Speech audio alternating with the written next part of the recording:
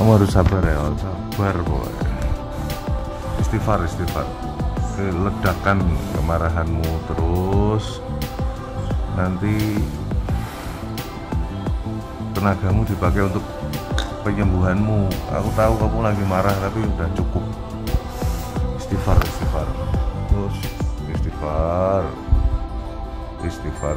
Ya saya istighfar. Nah ya. Jangan marah-marah udah istighfar